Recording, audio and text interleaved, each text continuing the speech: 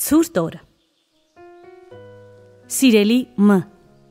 Կուզեի իմանաք, որ այսօր շատ ցուրտ է Սան Ֆրանցիսկոյում, եւ ես սարճում եմ։ Այնքան ցուրտ է սենյակս, որ ամեն անգամ պատմվածք սկսելիս ցուրտն ինձ նեղում է, ու ես վեր պիտի կենամ լիցքային վարժություններ անելու։ Ոստի կարծում եմ, որ մի բան պիտի անել պատմված գրողներին տակ պահելու համար։ Մեկ-մեկ շատ ցուրտ ժամանակ եմ գրում, բայց մեկ-մեկ էլ ոչ։ Շատ լավ եղանակին էլ է նույնը։ Չեմ սիրում, երբ օրս առանց պատմվածքի անցնում։ Եվ ահա թե ինչու եմ գրում նամակս։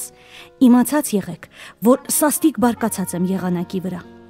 Չկարծեք, թե նստած եմ մի սքանչելի ու տաքսենյակում, ինչպես ասում են Արևոտ Կալիֆոռնիայում, ու բաներ եմ հորինում։ Շատ ցուրտ մի սենյակում եմ։ Արևին նշույլ իսկ չկա ոչ մի տեղ։ Միակ բանը, որից կարող եմ խոսել, ցուրտն է քանի որ այսօր ցրտից բացի ոչինչ չկա։ Սարճում եմ։ Ատամներս իրար են գալիս։ Կուզեի իմանալ, թե դեմոկրատական կուսակցությունը երբևիցե ինչ է արել մրսող գրողների համար։ Մնացած բոլորը ջերմություն ստանում են։ Մենք ենք, որ կախյալ պիտի լինենք արևից, իսկ ձմրանն արևն անկախ է։ Սա է դրությունս։ Ուզում եմ գրել եւ ի վիճակի չեմ ցրտի պատճառով։ Անցյալ տարի ձմռան մի օր արևը դուրս նայեց։ Շողերն իմ սենյակը լցվեցին ու ընկան սեղանիս։ Տակացնելով սեղանս ու սենյակս։ Տակացնելով ինձ։ Մի թեթև լիցքային վարժություն արեցի ու սկսեցի պատմվածք գրել։ Բայց օրը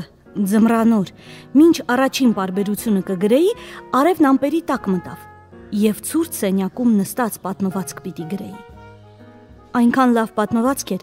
որ թեպետ գիտեի երբեք չի տպվելու, շարունակել էր պետք։ Եվ ի արդյունք ավարտելիս սառույց կտրեցի։ Դեմքս կապտել էր։ Ձերք ու ոտք շարժել չէի կարողանում։ Շատ էի սառել ու փայտացել։ Սենյակս լցվել էր մի տուփ Չեսթերֆիլդի ծխով, բայց ծուխն էր սառած։ Ծխի ամպեր կանգնած սենյակիս մեջ, բայց մեկ է ցուրտ էր։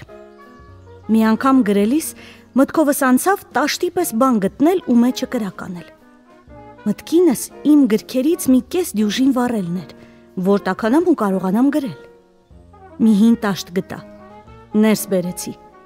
Բայց երբ սկսեցի վառել ու գիրք փնտրել, ոչինչ չկարողացա գտնել։ Բոլորը հին ու թանկ գրքեր էին։ Մոտավորապես 500 գիրք ունեմ։ Մեծ մասին մի քանի սենտ եմ տվել բայց երբ նայեցի վառելիք գրքերի վերնագրերին, ոչինչ չկարողացա առանձնացնել։ Գերմաներեն մի խոշոր ու ծանր գիրք կար մարդակազմության մասին։ Լավ կրակ կբռներ, բայց երբ բացեցի եւ այդ գեղեցիկ լեզվով մի տող կարդացի, ձեռքս չգնաց։ Մեծ բան էր պահանջվում ինձնից։ Լեզուն չէի հասկանում։ Ամբողջ գրքից մի բառ չգիտեի, բայց մի տեսակ շատ պերճախոս գիրք էր վառելու համար։ 2 թե 3 տարի առաջ 5 սենտ էի տվել։ 6 ֆունտ կկշռեր, այնպես որ տեսնում եք, նույնիսկ որպես վառելիք լավ բան էի առել, ու ես ընդունակ պիտի լինեի պատրել էջերն ու կրականել։ Այնինչ ձերքս չգնաց։ Ավելի քան 1000 էջանոց գիրք էր։ Նախատեսել էի էջ առեջ վառել ու տեսնել յուրաքանչյուր էջի կրակը։ Բայց հենց պատկերացրեցի այդ ամբողջ տպագրությունը, կրակի ճարակ դարձած եւ այդ ճշգրիտ լեզուն իմ գրադարանից չքացած, չէ, зерքս չգնաց։ Ու մինչև հիմա այդ գիրքն ունեմ։ Երբ օգնում եմ խոշոր գրողներ կարդալուց, այդ գրքին եմ դիմում ու կարդում մի լեզվով, որը չեմ հասկանում։ Ուղակի սրբապղծությունը այդպիսի լեզվի հազար էջով առելու մասին մտածել։ Դեռ չասած, որ չեմ հիշատակել սքանչելի նկարազարդումները։ Հետո սկսեցի ավելի էժանագին ընթերցելիք փնտրել։ Դուք էլ գիտեք, որ աշխարհը լիքն է նման գրքերով։ 10-ից 9 ժանագին, անարժեք, անկենթան բաներ են։ Էհ, կարծում եմ, որ իմ գրադարանում առնվազն կես դյուժին այդ գրքերից կան, որոնք կարող էի վառել, տականալ ու պատմվածքս գրել։ Այնպես որ 6 գիրք ընտրեցի, որոնք իրար հետ նույնքան էին կշռում, ինչքան գերմաներեն մարդակազմության գիրքը։ Առաջինը Թոմ Բրաունը Օքսֆորդում դպրոցական տարիների շարունակությունն էր երկու մասը մի գրքով։ Առաջին մասը 378 էջ, երկրորդը 430։ Այս ամենից մի թեթև կրակ կլիներ եւ բավական ժամանակ կվարվեր։ Բայց չէի կարդացել, ու ինձ թվում էր, թե իրավունք չունեմ չկարդացած բանը վառել։ Պետք է որ էժանագին արցակ լիներ, հենց վառելու արժանի, բայց ձեռքս չգնաց։ Կարդացի զանգակատունը երերում ու թնդում էր, երբ համաղողանջը մեր տուրախ, մեր չարախինդ կամ լալահառաջ դուրս էր հորդում նեղլիկ պատուհաններից դեպի հարավարևմտյան քամու գիրկը, որ պար էր բռնել Էնգելբերնի եկեղեցու հնամենի մոխրագույն գմբեթի շուրջը։ Էս հոյակապարցակ չէ, բայց մյուս կողմից այնքան էլ վատ չէ։ Այնպես որ գիրկը դրեցի տեղը Հաջորդը Ինես։ Պատմություն Ալամոյի մասին։ Գիրքն էր նվիրված Տեքսանի հայրենասերներին։ Հեղինակը ուրիշ գրքեր էլ ուներ, որոնցից մեկը կոչվում էր Բելլահ, մյուսը Սենտելմո։ Միակ բանը, որ գիտեի այդ կին գրողի ու նրա գրքերի մասին, այն էր, որ օրերից մի օր ինչ որ օրիորդի խիստ հանդիմանել էին Սենտ Էլմոն դասարան բերելու համար ասել էին, թե այդ տեսակ գիրքը կարող է խաթարել ջահել աղջկա բարոյականությունը։ Բացեցի ու կարդացի։ Ես մեռնում եմ։ Ու զգալով, որ քիչ է մնացել ապրելու, առանց երկնչելու խոսում եմ ազատ ու անկեղծ։ Ոմանք կկարծեն, թե ելնում եմ իմ սերի բարեպաշտության եզրերից, սակայն տվյալ հանգամանքներում զգում եմ, որ ոչ։ Երկար ժամանակ եմ քեզ սիրել եւ գիտակցումը, որ դա փոխադարձ էր, խորունկ ու անպատմելի ուրախության աղբյուր է եղել ինձ համար։ Եվ այլն։ Սա այնքան վատ գրված էր, որ արդեն լավն էր։ Ու ես որոշեցի առաջին իսկ հարմար առիթով լրիվ կարդալ։ Երիտասարդ գրողը շատ բան ունի սովորելու մեր ամենաողորմելի գրողներից։ Խիստ կորցանարար բան է վատ գրքեր վառելը համարյա ավելի կործանարար, քան լավ գրքեր վառելը։ Հաջորդը. Թ Ս Արթուրի 10 գիշեր դատական ատյանում եւ թե ինչ տեսա այնտեղ գիրքներ։ Է, նույնիսկ սա շատ լավ գիրք էր կրակ տալու համար։ Մյուս երեքի հեղինակներն էին Հոլ Քեյնը, Բրանդեր Մեթյուղը եւ Էպտոն Սինքլերը։ Միայն միստր Սինքլերի գիրքն էի կարդացել ու թեպետ չէի հավանել որպես գրվածք, վառել չէի կարող, քանի որ տպագրությունն էր շատ հոյակապ, կազմն էր շատ լավը։ Տպագրական առումով դա իմ լավագույն գրքերից էր։ Ինչևից է, ոչ մի գրքի եւ ոչ մի էջը չվառեցի։ Ցրտից սարչելով շարունակեցի գրել։ Ժամանակ առ ժամանակ լուցկի էի վառում։ Ինքս ինձ հիշեցնելու համար, թե ինչ տեսք ունի բոցը։ Ջերմության պատկերացումը չկորցնելու համար։ Հերթական սիգարետը վառելուց էր դա լինում եւ փոխանակ փչելու թողնում էի, որ լուցկին մատներս վառի։ Հիմա ասեմ, եթե դու նվազագույն հարգանք ունես գիրք ասած բանի նկատմամբ ու գիտես, թե ինչ նշանակություն ունեն գրքերը կյանքում, եթե հավատ ունես թղթի ու տպագրության նկատմամբ, ապա չես կարող որևէ գրքի որևէ էջը վառել։ Նույնիսկ եթե սարճում ես։ Նույնիսկ եթե ինքդ ես փորձում մի բան գրել, չես կարող։ Մեծ բան է պահանջվում դրա համար։ Այսօր իմ սենյակում նույն ցուրտն է, ինչ այն օրը, երբ ուզում էի գիրք վառել։ Ցրտի մեջ նստած ծխում եմ, աշխատելով թղթին հանձնել այս ցուրտը, որ เป զի երբ Սան Ֆրանցիսկոյում նորից տաք օրեր գան, չմոռանամ թե ինչպես էր ցուրտ օրերին։ Մի փոքր նվագարկիչ ունեմ, եւ երբ տականալու համար ուզում եմ վարժություններ անել, միացնում եմ։ Բայց երբ շատ է ցուրտ, նվագարկիչը չի աշխատում ինչ որ բան է խափանվում ներսում։ Քսուկն է սարճում կամ անվակները չեն պատտվում եւ ստիպված зерքերս ծալում ու թափահարում եմ առանց նվագի։ Ջազի նվագակցությամբ վարժություններ անելուց հաճելի բան չկա։ Բայց երբ շատ է ցուրտ, նվագարկիչը չի աշխատում ու վիճակս դառնում է անտանելի։ Արավոտյան ժամը 8-ից այստեղ եմ։ Հիմա 5-ից 4-րդ է պակաս։ Ու վիճակս արդեն անտանելի է ատելով ատում եմ, երբ օրն անցնում է առանց մի բան անելու, առանց մի բան ասելու։ Ամբողջ օրն ահա այստեղ եմ, գրքերիս հետ, որոնք չեմ կարդացել։ Փորձում եմ սկսել ու գործս առաջ չի գնում։ Ժամանակի մեծ մասը սենյակս չափչփելու վրա կորավ։ Ցանկացած ուղությամբ երկու քայլ հետո պատի եմ դեմ առնում։ Մեկ էլ зерքերս ծալելու եւ թափահարելու։ Հիմնականում դա էր արածս։ Մի քանի անգամ փորձեցի նվագարկիչը, որ տեսնեմ, թե չի բարձրացել արդյոք ջերմաստիճանը, բայց ջերմաստիճանը չէր բարձրացել, եւ նվագարկիչը լուր էր։ Մտածեցի, որ հարկավոր է ձեզ պատմել այս մասին։ Մի մեծ բան չէ, թերևս հիմարություն է ցրտից մեծ բան սարքելը, բայց միաժամանակ այսօրվա ցուրտը փաստ է։ Տվյալ պահին մեծ բան։ Եվ դա ես եմ ասում։ Ինձ զարմացնողն ու հիացնողն այն է, որ գրամեքենաս այսօր ոչ մի անգամ չխափանվեց։ Ծննդյան տոներից առաջ, երբ մեզ մոտ սաստիկ ցրտեր էին, անընդհատ խափանվում էր։ Այն ժամանակ ոչինչ չկարողացա անել։ Ուրիշ տեսակի յուղ էի գործածել դրանից էր։ Բայց ցրտի մասին գրելուս ընթացքում գրամեքենան իր գործը գերազանց է անում։ Եվ դա զարմացնում ու հիացնում է ինձ։ Հաճելի է, որ չնայած ցրտին, այս մեքենան կարող է վերարտադրել իմ օգտագործած լեզուն։ Դա ինձ քաջալերում է, որ ինչ էլ լինի, մեքենայից չհեռանամ։ Ինքս ինձ ասում եմ, եթե գրամեքենան աշխատում է, ուրեմն դու էլ պիտի աշխատես նրա հետ միասին։ Դա է մնում։ Եթե ցրտի պատճառով խելքը գլխին պատմված գրել չես կարող, ուրիշ բան գրիր։ Մի որևէ բան։ Մեկն ու մեկին երկար նամակ գրիր։ Պատմիր, թե ինչպես ես մրսում։ Մինչև նամակը տեղ հասնի, արևը նորից կերևա նորից կտականա։ Բայց նամակը կմնա ցուրտը հիշեցնելով։ Եթե այնքան ցուրտ է, որ չես կարող թեկուս շարքային օրվա արցակ ստեղծել, ոչինչ գրողը տանի։ Ինչ ուզում ես ասա, միայն թե ճշմարիտ լինի։ Ասա թե ինչպես են սարճում ոդքերիդ մատները։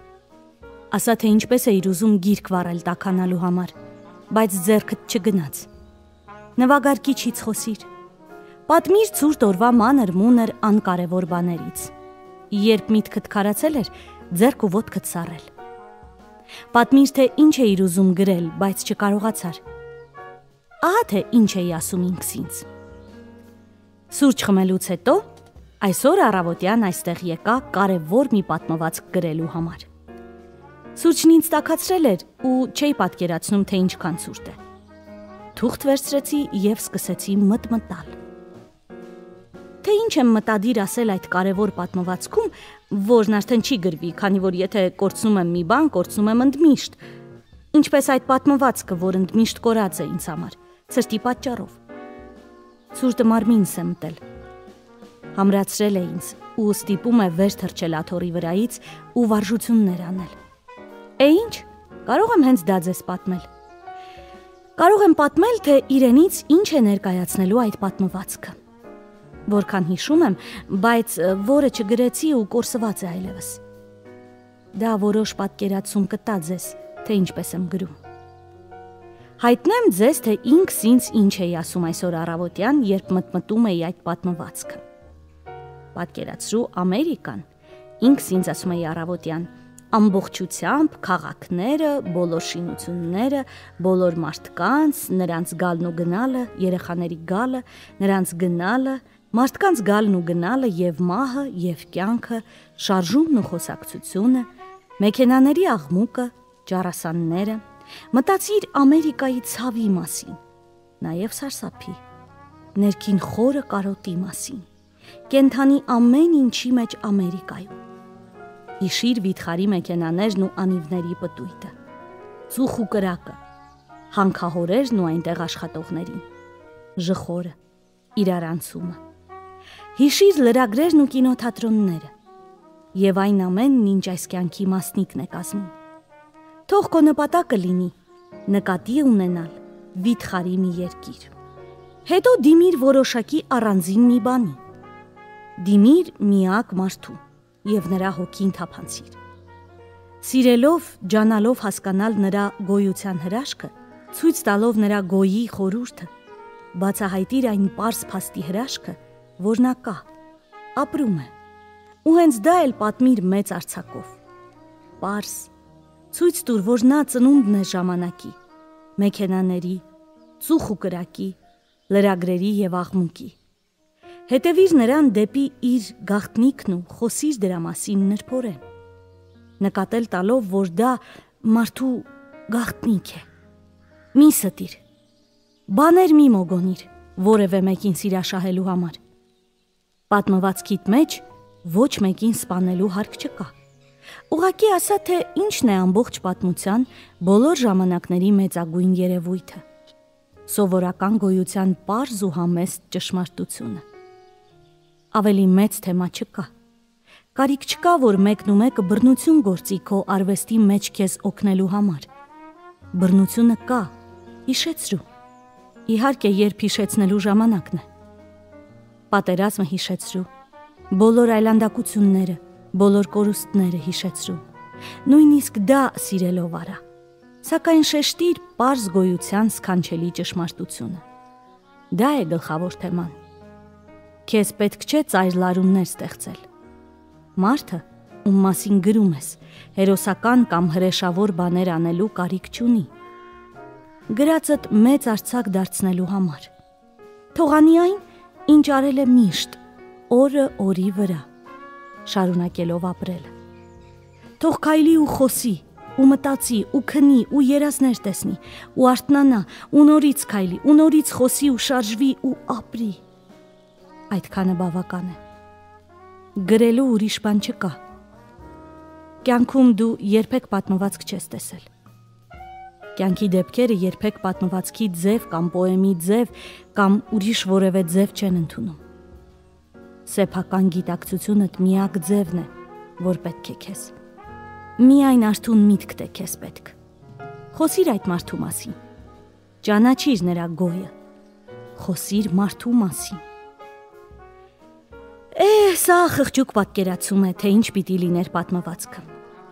Երբ ինքս ինձ ասում էի, թե ինչ ու ինչպես գրեմ, սուրճն ինձ տակացրել էր։ Բայց հիմա սարճում եմ եւ այսքանից ավելի չեմ կարող գլխումս եղածին մոտ գնալ։ Սքանչելի մի բան պիտի լիներ, բայց հիմա լոկ աղոտ հիշողություն է մնացել այդ պատմվածքից։ Առնվազն կարող եմ հիշողությունն արտահայտել բառերով։ Վաղը մի ուրիշ պատմվածք եմ գրելու։ Պատկերը դիտելու եմ ուրիշ տեսանկյունով։ Ստույգ չգիտեմ, բայց կարող եմ ակլորանալ եւ ծաղրի ենթարկել այս երկիրն ու իր կյանքը։ Հնարավոր է։ Կարող եմ անել։ Նախկինում արել եմ եւ երբեմն, երբ քաղաքական կուսակցություններից ու քաղաքական գործարքներից ցնդում եմ, նստում ու ծաղրում եմ մեր այս մեծ երկիրը։ Ես ցածրանում եմ ու մարդուն ներկայացնում որպես նեխած, անարժեք, անմաքուր մի բան։ Դա չէ մարդը։ Բայց ես ձևացնում եմ, որ դա է։ Մի ուրիշ նվազ որսալի բան է, բայց ծաղրելու համար ավելի հարմար է ձևացնել, թե հենց դա է մարդը։ Իմ գործը ճշմարտությանը հասնելն է։ Սակայն երբ սկսում ես ծաղրել, գրողի ծոցն ես ուղարկում ճշմարտությունը։ Ոչ ոք չի ասում ճշմարտությունը։ Ինչի համար ես ասեմ։ Բոլորը հաճելի ստեր են ասում։ Դուրեկան պատմվածքներ ու վեպեր գրում։ Ինչի համար ես անհանգստանամ Ճշմարտության ցավն ինձ են տվել։ Ճշմարտություն չկա։ Եղածը քերականություն է։ Կետադրություն եւ նման բաներ։ Բայց իմ ցիտատն իմն է։ Կարող եմ ցնդել այս կամ այն բանից ու ծիծաղի տալ, բայց իմ գիտցածն իմն է։ Եվ այդ ամեն ինչը լավագույն դեպքում բավական տխուր է ու սրտաշարժ։ Ամբողջ օրս անցավ այս սենյակում, սարչելով Ուզում էի բոլոր ապրողների մասին մի հիմնավոր ու մաքուր բան ասել, բայց այնքան ցուրտ էր, որ ոչինչ չստացվեց։ Արածս միայն зерքերս թափահարելը, ծխելն ու ինձ նողկալի զգալը եղավ։ Առավոտ վաղ, երբ սուրճն ինձ տակացրել էր, այդ մեծ պատմվածքը գլխիս մեջ էր։ Պատրաստ դառնալու տպագիր նիշեր։ Բայց կորավ գնաց։ Միակ բանը, որ կարող եմ հիմա ասել, այն է, որ Սան Ֆրանցիսկոյում սաստիկ ցուրտ է։ Ու ես սարճում եմ։